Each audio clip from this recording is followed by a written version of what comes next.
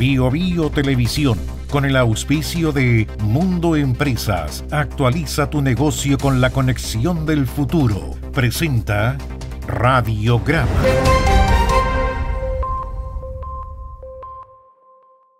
Tu negocio en manos expertas, con la fibra más premiada de Latinoamérica. Conversemos en el 600, 9100, 200 o en tumundo.cl slash empresas. Actualiza tu negocio con la conexión del futuro.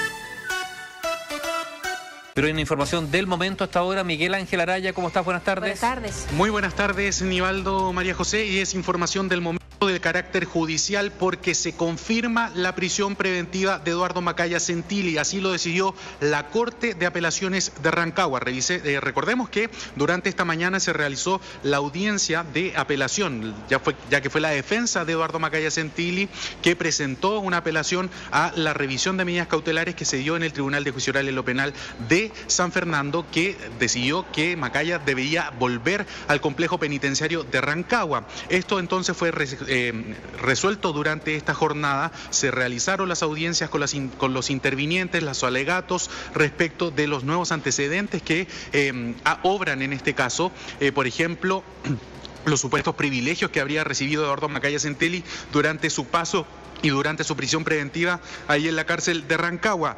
Esto ahora sabemos que se mantiene entonces la prisión preventiva del condenado por cuatro delitos de abuso sexual en contra de dos menores de edad. Esa fue la determinación de la segunda sala de la Corte de Apelaciones de Rancagua, que se mantendrá entonces privado de libertad hasta que su sentencia sea ejecutoriada eh, y eh, se mantenga firme entonces, porque recordemos que todavía hay un proceso abierto que es el recurso de nulidad que presentó la defensa de Eduardo Macaya. Eso tendrá que ser visto por la Corte Suprema, pero por por, eh, por el momento Eduardo Macaya Centelli se deberá mantener entonces en prisión preventiva en el complejo penitenciario de Rancagua. En tribunales Bio Bio, la radio.